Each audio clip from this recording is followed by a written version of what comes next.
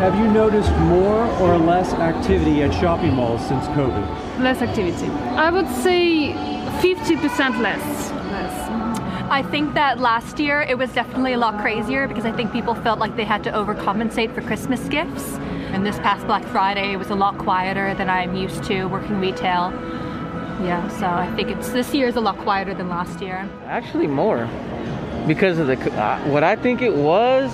I thought it was because of the stimulus checks. Everybody got money, right? So I, I'd say more so. Well, at first it was less, but now people are coming back in droves. I think people are just tired of being cooped up and they're over it. And I think it's had a lot, a really bad effect on people in general. I think more as well. There's more, definitely more people. Uh, more, because uh, people are back into the motions of uh, going through their regular lives. Welcome to Changing Places, brought to you by Avison Young. In Changing Places, we explore our continuing and complex relationships with the built world around us. I'm your host, Miriam So. Mall rats, clueless. Paul Blart Mall Cop. The shopping mall has been a staple of Western culture and daily life since the 1950s. While the structure itself may not change, the stores inside of a mall certainly do, as do the tastes of the people inside of the mall who are deciding where to spend their hard earned cash. I'm guessing we've all hung out at a mall at some point or run in to buy a last minute gift, spent the day there perhaps to take advantage of an experiential attraction. Whatever the reason, the shopping mall is an integral part of not only daily life, but a large contributor to their local communities. Since the pandemic, outdoor malls have seen an increased amount of foot traffic, while indoor malls have struggled to retain their shops and customers. In 2020, CNBC predicted that 25% of U.S. malls would close in five years. At the same time, adaptive reuse of malls has been a hot topic. In Idaho, the Alturas Preparatory Academy established their charter school in a former Sears store. The Netflix series Stranger Things rented a shopping mall as a set in the series. However, outdoor malls like The Grove and high end malls like the Bal Harbour Shops are thriving. We're going to tackle all things shopping malls this episode with my guests Sarah Cafaro, who's Senior Director of Retail Sales, U.S. Capital Markets at Avison Young, and Mark Cohen, Director of Retail Studies at Columbia University. I really can't wait to get their opinions, thoughts, and insights on the current challenges in the shopping mall sector, how COVID has changed their uses, and what the future looks like going forward for this venerable part of the retail sector.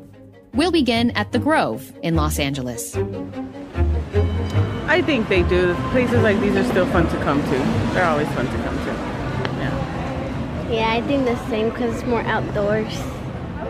No, this is this is good old school stuff. You know, this is good uh, human interaction, beautiful sights and stuff like that. Yeah. Shops. Um, this one in particular, it's nice. It's pretty. It's outdoors. Um, it's close to home. I actually don't shop at malls, to be perfectly honest with you. But uh, whenever I go out, with, like, like with my nieces and nephews, um, it, it, it's always a fun thing. And, and they're and, and, they're all in their teens, and they're like, "Oh wow, you know what? This is better than going online." I said, "Of course it is."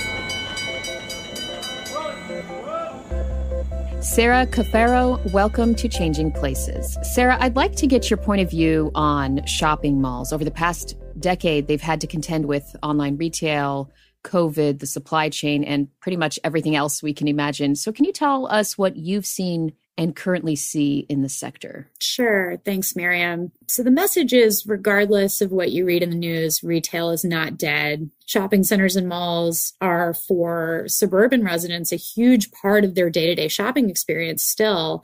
And because there are certain items that you don't typically buy online, like large electronics, furniture, etc., there are certain tenants who actually not only survived the pandemic financially, but they also surpassed their 2018 sales during what was an extremely challenging time for retail as a whole. I think we can all agree. The mall experience, however, as you mentioned, has changed dramatically over the last 10 years, independently of COVID. Um, COVID certainly didn't help shopping malls. Co-tenancy within merchandising plans remains an extremely important aspect of a consumer's brick and mortar shopping experience. So we will often still see certain brands paired together, such as Apple and Lululemon. So this really flows through to every aspect of a shopper's experience, including an online site as a complement to the in-person shopping experience at its brick and mortar locations, as well as actual physical accessibility, which is why we now see so many of these open air shopping centers and malls. There are enclosed malls that are achieving higher average sales per square foot that we believe will continue to hold a strong position in the market. But on the whole, most mall owners are looking to reposition their assets in some way, even if it just means attracting more of those experiential co-tenants.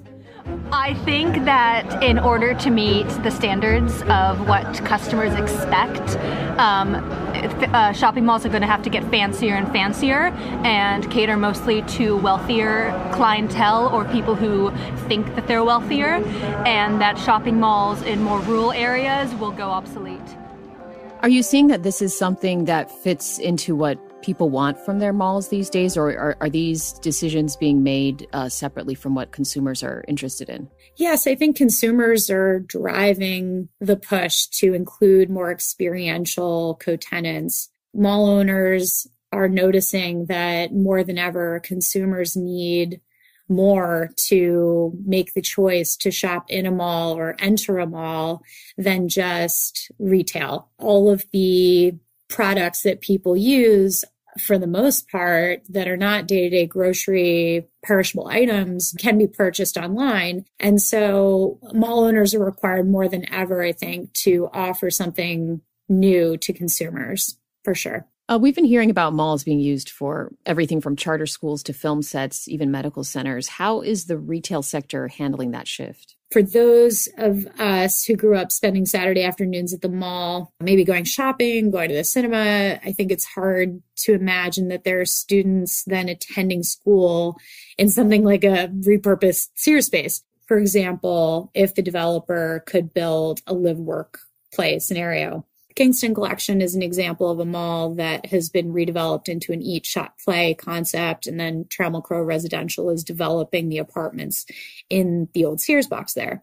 So we're seeing these redevelopments occur across the country and owners and tenants are learning to adapt.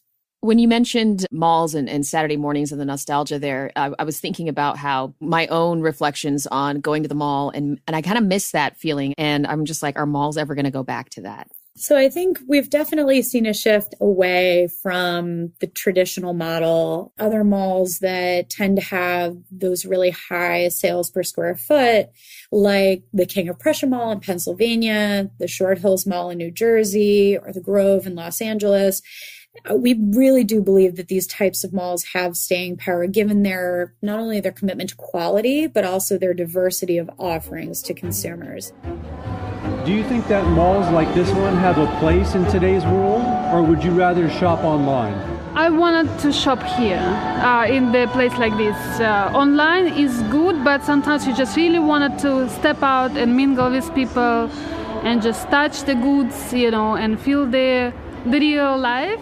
Eventually, it won't. If if this if the second uh, stream of this COVID climbs, nah, they, they, will not have any more. I don't think they they might have more, but it it's going to decline. In fact, um, I do do a lot of shopping online, but I'd prefer to come to a mall. But I've been staying away because of COVID. But a mall like this, I would come to for sure. And I love I love this mall. What are some of the things that keep you coming back to the mall? The open space, open uh, the air, uh, the restaurants, uh, and uh, the, the, there is some activity for kids. It's kind of just the environment of walking around and just it's an outdoor mall, so it's pretty refreshing. Get some fresh air. Christmas shopping, just the vibe, you know, when you Christmas shop, you're out looking at all the decorations. And besides the holiday time, though, yeah, if I lived here, I would be coming for the shopping and the and the restaurants and just the ambiance is really cool.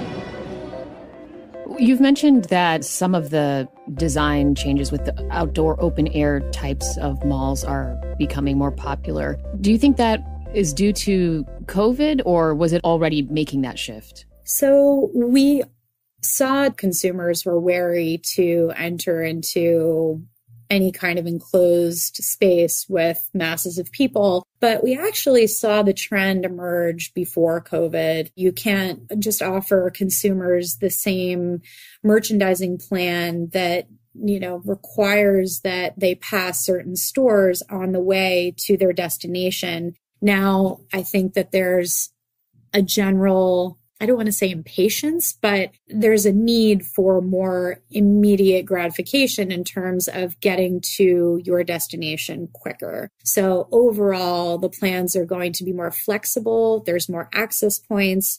And I think as new construction continues, we're seeing a trend toward more open air new development than enclosed for sure. Yeah, probably because it's a nice mall to walk around. It's outside. We've never been to an outdoor mall either. Never. I'm sure there's more, but we've never been to an outdoor mall. So, how do you like this compared to indoor malls? Better, way better. Why is it way better? Because we get to bring him along for one. Yeah. They're animal friendly, more likely, and uh, also like the mall. It gets, especially wearing a mask, it gets all. Gets oh man, dude, it gets stuffy in there, man. When it comes to the enclosed spaces, as we mentioned earlier, some of these uh, spaces are making a shift to do other things. What what is the process like for that, Sarah? Can you just switch a mall into some other entity, or are there sort of some some hoops you got to go through? Yeah, definitely the latter. So your covenants, restrictions, and your, your real estate agreements to determine what you are allowed to build there. Is it, you know, if you're converting a retail anchor, do you convert it into a another retail use that is basically staying within the existing footprint of that anchor? Or can you build whatever you want? Sky's the limit. Could you build multifamily? It all depends on what's in those agreements. Overall i would say the one benefit of a mall conversion in terms of the ease or, or the conversion based on the surrounding area is that they are usually located in central business districts with good amount of traffic. You do need to take into consideration traffic. Have big box stores at all caused any issues for malls in terms of, you know, we, we say a lot of people are shopping online, but what about big box stores where you can go in to a Walmart, for example, and get groceries, you can get pharmacy stuff, you can get clothing. So, you know, if I'm an owner and of either a mall or a large shopping center, outlet center, typically speaking, what we see is that these are attractors and more often than not they create synergy for the other retailers because if you're driving in and you know you have your target list of items that you're going to buy, that will bring more traffic to the other stores. Well, as we get ready to wrap up here, are there any trends you're seeing now that we should know about? Yes, there are a lot of different trends we've seen during the pandemic and even prior to that that we're seeing continuing into the future. First, I would say on the positive side, there's a lot of opportunity for redevelopment of malls, outlets, and shopping centers. Redevelopment can be especially important in areas where construction costs and timelines have increased dramatically, such as the Northeast, and thus new construction is stalled. Medical or urgent care offers another viable replacement for existing mall retail. Another trend we've seen is that mall anchors such as J.C. Penney, who have declined over time or who are going through restructuring are likely to continue to be sold in the near term as owners and bondholders in mall anchor product face continued pressure to sell based on provisions in their bankruptcy filing. There are many ways that we can help brands to evaluate a location's performance. And more than ever, tenants are paying attention to store performance at each individual location and market. But overall, I would say we just continue to see the changing of spaces. There's just a lot of change going on in the industry, but it's all very exciting and there's tons of opportunity going forward. Well, thank you so much, Sarah. It's been a pleasure to have you on our program. Well, I work here, so that's it. I'm not here for the atmosphere. When was the last time you went to a mall? Were you there to meet friends, buy a new outfit, play laser tag, or did you drive by the mall in your area to find it abandoned or turned into a medical center? I think it's safe to say that this sector is evolving past what we thought it was and beyond what we thought it could be. Stay tuned for the next part. And just a reminder Changing Places is a podcast brought to you by Avison Young that continues to explore and question our complex relationship with the built world around us. I'm your host, Miriam So. I hope you're liking the show so far. If so, please share us with your friends. We are about to meet Mark Cohen, Director of Retail Studies at Columbia University. Mark is an expert in the retail space, having served as the Chairman, CEO of Sears Canada Incorporated, Chief Marketing Officer, and President of Soft Lines of Sears Roebuck and Company, Chairman, CEO of Bradlees Incorporated, and Chairman, CEO of Lazarus Department Stores. Well, Mark, welcome to Changing Places. So, Mark, the shopping mall sector seems to have experienced its fair share of ups and downs. What are your thoughts on the way things have had to adapt due to the pandemic, but also to the rapid changes in the way consumers have turned to e-commerce versus a physical shopping mall? The, the change that we're witnessing today was well underway pre-COVID, whereas the shopping mall had uh, disrupted downtown retailing in hundreds of US cities in the 60s, 70s, and 80s. Now it's the internet's turn to disrupt the great American shopping mall. And that was a trend that was well established and had been gaining tremendous amount of momentum pre-COVID. The very best malls, which were doing okay pre-COVID, are now doing fine. The original malls typically had two or three anchors. These, these mega malls have four, five, and six. Think about what a customer encounters when they approach a mall and they see a parking field that's completely barren because the mall that used to, the department store that used to face that parking field is locked up, it's closed. And so that was the portal into the mall. And so the mall, whether it's actually out of business or struggling to stay in business, certainly looks like it's out of business. But at the end of the day, moving climbing walls and more restaurants and doctor's offices into a shopping center space doesn't promote shopping. Let's spend an hour on the climbing wall and then let's let's go buy a sweater. Doesn't doesn't cut it. Well, that's interesting. I, I would have thought the opposite that once somebody gets you in the door, it's hard to not buy something. Well, the, the, the raison d'etre for a shopping mall is getting you in the door and then offering you an, an enormous array of choices. But when the choices are incongruous, climbing wall shoe store the likelihood that customers will behave as they used to behave is greatly diminished. And I would also point out that the mall used to be the community center for young people who would gather at the food court in the evenings or on weekends. Well, when it comes to malls and over a thousand malls in the US alone, what separates a top tier mall from a zombie mall. I know you mentioned Apple Store, Lululemon's, those types of uh, more high end retailers. If a place doesn't have a high end retailer or these sort of places that attract younger crowds, is it even a mall anymore? I think that the best malls, they're not going away. They'll be sought out. They'll be busy. They will be a destination for customers who want to try, touch, feel, experience, don't want to participate exclusively in commerce via the internet. But I think we're looking at a um, uh, an era in this 21st century where customers want to have it all their way. They want to shop, they want to browse at home and then go somewhere and check it out, or they want to check it out in some physical space and then go home and decide what, if anything, they want to buy from the privacy and comfort of their own home or their office, for example. Yeah, no, I, I hear what you're saying there. And there's, but there's also this element of, of the physical that you mentioned earlier. And, and I just saw a study today that, that showed sales are better when you can actually see something being demonstrated or touch it or feel it. So do you think that malls are not going to go away anytime soon? Well, the, the most successful malls are, are multiple anchors, four, five, six anchors. So when an anchor tenant goes away, they don't look like an empty restaurant. So the survivors are in the right place at the right time with the right mix. And it isn't just the Apple store and Lululemon. It's the, it's the sum total of what's inside the box that convinces people that that's where they want to head when they do want to shop physically.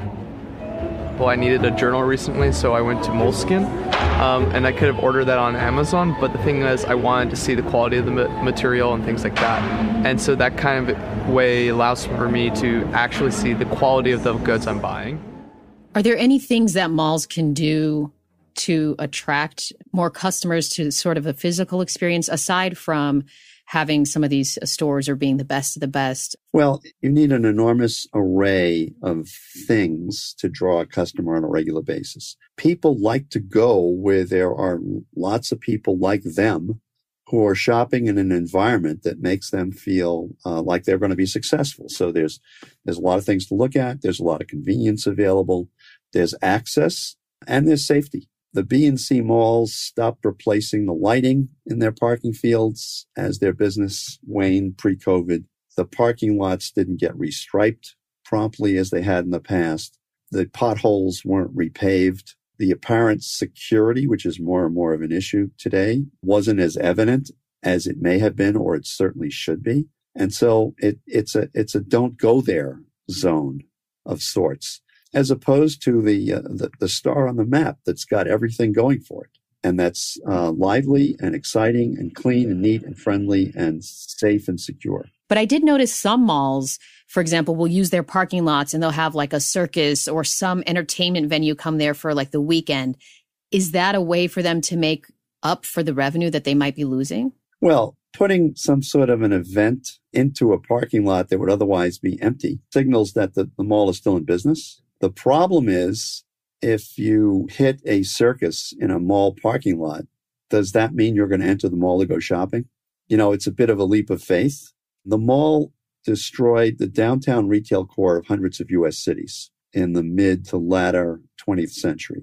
And now e-commerce is doing that to the mall, aided and abetted by the presence of COVID. So it sounds like what the malls did to downtown, now they're suffering the same consequences. Exactly. It's a uh, sort of a loop it's a cycle of creation and destruction. 25 years ago, nobody had a phone, let alone now there are more phones than people, more smartphones than people. And pretty soon, augmented reality is going to further turbocharge the shopping experience, which is pretty one dimensional, which is one dimensional right now, but won't stay that way. It's interesting, the augmented reality. I've been wondering now with all this metaverse talk and people building things in virtual worlds, is that going to be the new communal gathering for malls? Or do you think in a town, if there's one mall left and people have this memory of this is where they go to congregate, if that'll still survive? Well, it may very well in some way, shape, or form, but recognize that though the 3D technology is certainly available, the interface is not particularly attractive.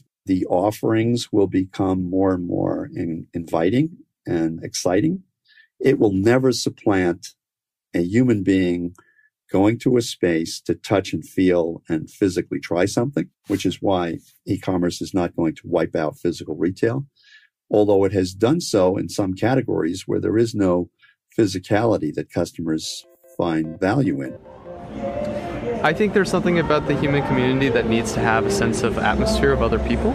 So yeah, I do think uh, I would shop in person at times because it's also the experience of being around other people.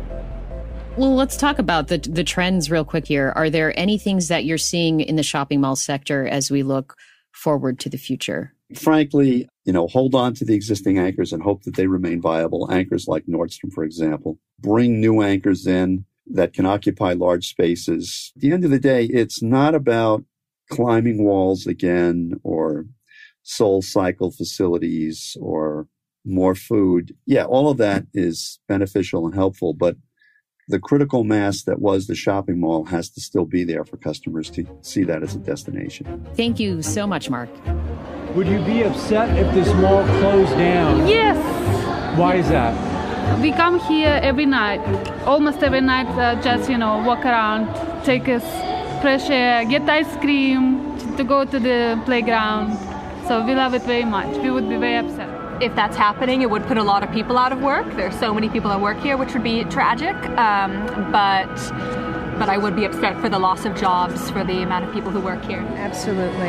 Why is that? I don't think we need more office buildings and and um, warehouses. I think that a place like this is a place for people to be out and be seen and have some community and just enjoy the outdoors and the beautiful surroundings here at this mall.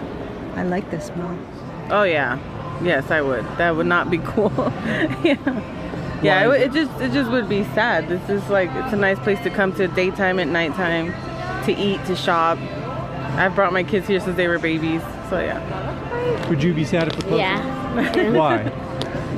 Because it's fun to like shop and eat here, and it's like more outside than other stores. Yeah, yeah. This is this is a real famous uh, market right here. You know, farmers market. You know, with Du-par's restaurant and stuff like that.